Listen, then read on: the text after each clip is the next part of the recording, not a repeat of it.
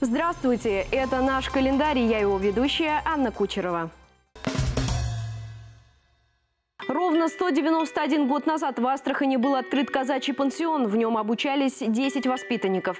Они изучали гимназический курс наук без латинского языка. Помимо этого, учащиеся постигали военное дело. Почетным попечителем пансиона стал атаман, полковник Петров. В первые годы гимназия располагалась в четырехэтажном каменном здании, ветхом и неудобном по планировке, нанятом у купца Соколова. Гимназия нуждалась в замене практически всей мебели, а пособия учебные были больше часто и дефектны. 31 декабря 1828 года из Харьковского учебного округа в Астраханскую дирекцию был прислан устав гимназии. По нему четырехклассные гимназии преобразовывались в семиклассные. В этот день 259 лет назад родился Петр Сапожников, меценат, коллекционер, основоположник династии астраханских купцов-благотворителей. В 1780 году поступил на службу в городскую думу, сблизился с городским головой.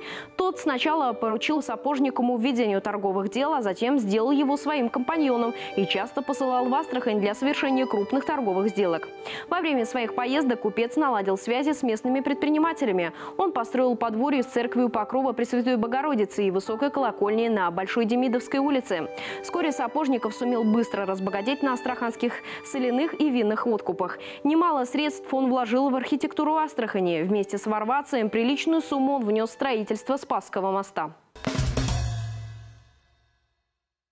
20 января, ровно 64 года назад, на улицах Лондона появились первые радары контроля за скоростью автомобилей. Сейчас их история насчитывает уже больше полувека, но по сей день бдительные помощники ежедневно помогают сотрудникам полка ДПС. За это время от первых огромных стационарных датчиков скоростного слежения до почти незаметных камер изменилось практически все. Раньше инспекторы дорожного движения замеряли скорость практически на глазок с секундомером или часами в руках вычисляли движение машины от одного столба до другого. В этот день в 1815 году под Петербургом в Царском селе в лицее состоялся экзамен с приглашенными гостями. На экзамен по изящной словесности был приглашен поэт и государственный деятель Гаврила Державин. Именно в этот день он отметил талант будущего русского классика 15-летнего Александра Пушкина. Юноша прочел произведение «Воспоминания в Царском селе». Навис покров угрюмой ночи, на своде дремлющих небес. В безмолвной тишине почили дол и рощи, в седом тумане дальний лес. Это стихотворение прославило Пушкина за пределами лицея. Оно стало первым произведением, которое опубликовали с полной подписью Александр Пушкин в том же 1815 году в журнале «Русский музеум».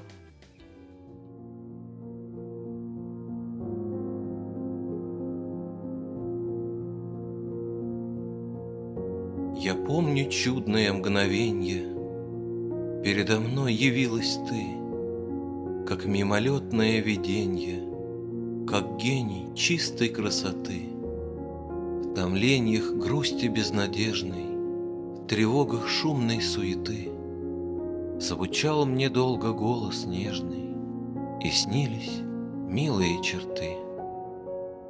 Шли годы, бурь, порыв мятежный Рассеял прежние мечты, И я забыл твой голос нежный, Твои небесные черты.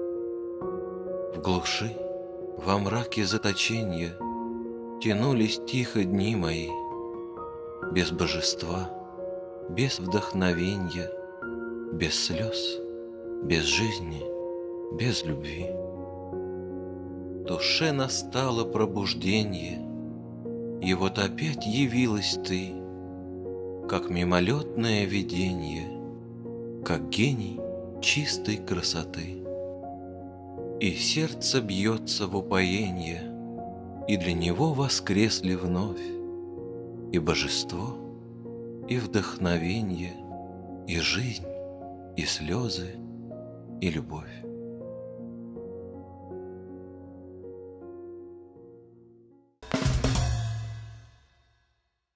Это был наш календарь, я Анна Кучерова. До встречи.